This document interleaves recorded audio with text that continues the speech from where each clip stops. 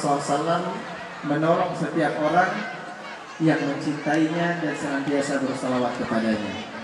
Yuk sama-sama kita bersalawat buat Nabi Muhammad Sallallahu Alaihi Wasallam. Salawat itu. Siapa yang cinta dengan Rasulullah?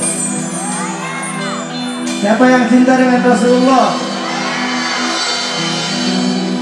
Maka siapa yang cinta dengan Rasulullah Basahkan lidahnya Ajak hatinya Gerakkan lidahnya Untuk memuji Seseorang yang kelak Akan meraih tangan kita Dan memberikan syafaat kita di hadapan Allah Subhanahu wa Ta'ala. Siapa yang ingin bertemu Nabi? Siapa yang ingin ziarah ke makam Nabi? Maka jika ingin segala sesuatu terkabul, sebutlah nama kekasih Allah Subhanahu wa taala. Nama yang selalu kita rindukan. Nama yang senantiasa kita harap-harapkan untuk bertemu dengannya. Nabi kita Muhammad sallallahu alaihi wasallam yang setiap hari memohon ampun untuk kita. Dia adalah manusia yang kita cintai walaupun kita belum pernah menatapnya. Dialah Nabi Muhammad. Wahai yang merindukan Nabi Muhammad. Wahai yang di hatinya memiliki cinta dengan Nabi Muhammad. Wahai yang rindu dengan Nabi Muhammad. Lihatlah kepada diri yang kotor ini. Lihatlah kepada diri yang hina ini. Siapa yang akan menyelamatkan kita jika bukan Nabi Muhammad? Siapa yang akan menyelamatkan kita di hadapan Allah dengan banyaknya dosa-dosa kita, dengan banyaknya kekhilafan kita jika bukan dengan kemuliaan Nabi Muhammad? Maka siapa yang mengaku umat Nabi Muhammad? Maka siapa yang mencintai Nabi Muhammad? Maka hadirkan hatinya. Di bulan kelahirannya di mana Allah memuliakan alam semesta karena kelahiran Nabi Muhammad. Bahkan batu-batu rumput-rumput benda yang hidup maupun mati hewan maupun manusia dimuliakan dengan keberkahan kelahiran Nabi Muhammad. Maka di bulan kelahiran ini mintalah kepada Allah. Jika selama ini ada doa yang diminta tapi tidak kunjung terkabul, mungkin karena dosa-dosa kita yang terlalu menumpuk. Maka mintalah hari ini dengan namanya yang agung, dengan kemuliaan namanya di sisi Allah, Nabi kita Muhammad Sallallahu Alaihi Wasallam. Tahukah kita bahwa Rasulullah Wasallam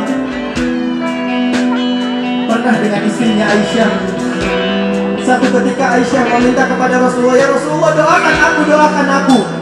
Maka Rasulullah mengangkat tangan, ya Allah ampunilah dosa Aisyah yang telah lalu dan yang akan datang. Seketika Aisyah begitu gembira, ya Rasulullah terima kasih. Bahkan dikatakan Aisyah meriwayatkan sampai kepalanya dijatuhkan di hadapan Rasulullah. Karena doanya Rasulullah apa? Ya Allah ampunilah Aisyah dosa-dosanya yang telah lalu dan yang akan datang. Rasulullah kemudian terdiam. Wahai Aisyah, segitu senangnya engkau dengan doaku wahai Aisyah? Segitu bahagianya engkau dengan doaku yang tadi? Kata Aisyah, wahai Rasulullah, bagaimana aku tidak gembira? Aku didoakan dengan engkau ya Rasulullah. Dosa-dosaku yang lalu dan yang akan datang diampuni ya Allah. Bagaimana aku tidak gembira ya Rasulullah? Lalu Rasulullah tersenyum mengatakan, Tahukah engkau wahai Aisyah? Tahukah engkau wahai Aisyah? Itu adalah doa yang senantiasa aku ucapkan dalam setiap sujud terakhirku kepada Allah untuk umatku. Itu adalah doa yang senantiasa aku minta pada Tuhanku dalam setiap sholatku untuk umatku agar Allah mengampuni dosa-dosanya yang telah lalu dan yang akan datang. Siapa yang bisa mencintai kita melebihi Nabi Muhammad? Siapa yang bisa merindukan kita melebihi Nabi Muhammad? Maka, wahai hati, wahai hati yang memiliki iman, wahai hati yang memiliki Rasulullah, kembalilah kepada Allah. Kembalilah kepada Rasulullah. Saat dunia tak ada lagi harapan untukmu Saat dunia mengecewakanmu Kembalilah kepada Rasulullah. Saat tidak ada tempat Untuk meminta Mintalah kepada Allah dengan nama Rasulullah Bukankah kita begitu senang jika nama kekasih kita disebut? Begitulah Allah betapa senang jika nama kekasihnya disebut. Maka mari di bulan Maulid kita ajak hati kita untuk kembali melihat Rasulullah. Agar cahaya Rasulullah masuk ke dalam hati kita dan kita diselamatkan oleh Allah dari segala kesusahan dari segala hal-hal yang tidak baik khususnya kita minta berkahnya Nabi Muhammad Allah jadikan kampung ini kampung yang berkah. Kampung yang dipenuhi dengan rahmat. Di mana di situ ada rahmat Di situlah akan ada kebahagiaan dan rezeki dari Allah. Wahai yang mencintai Nabi Muhammad Mari kita sampaikan rindu kita dengan Nabi Muhammad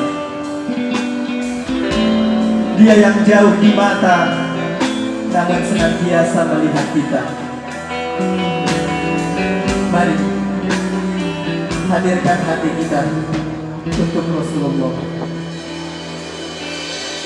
Sallallahu alaihi wasallam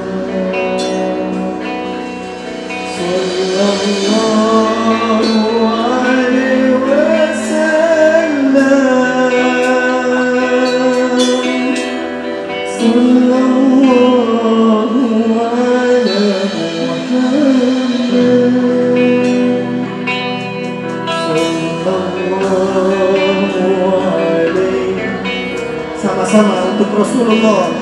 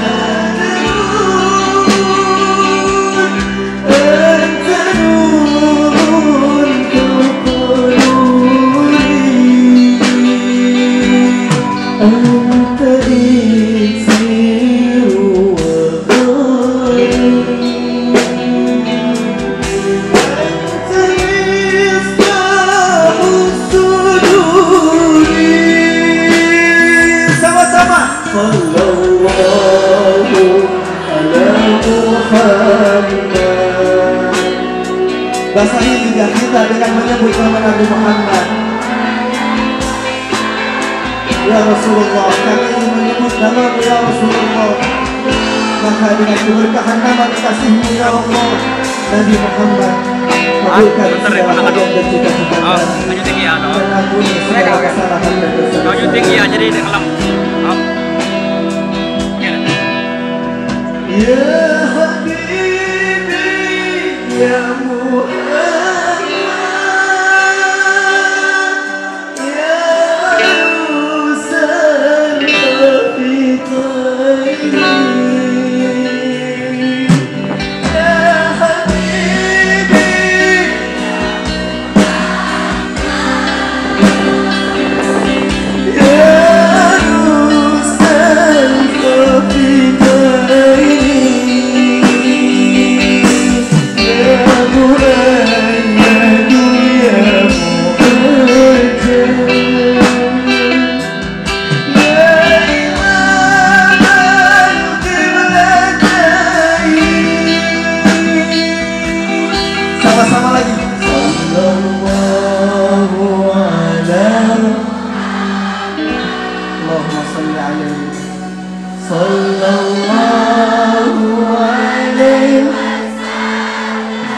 Tidak akan rugi orang yang menyebut nama Nabi Muhammad.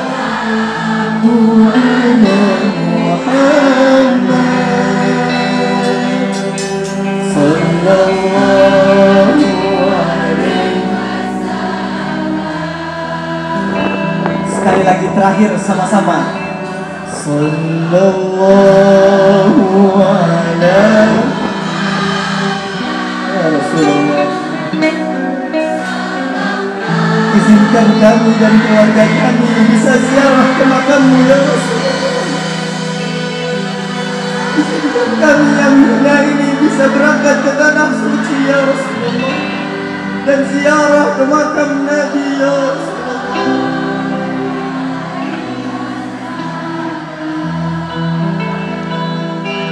Semoga berkahnya Nabi Muhammad. Kita diberikan ketenangan dan juga persaudaraan. Amin ya rabbal alamin.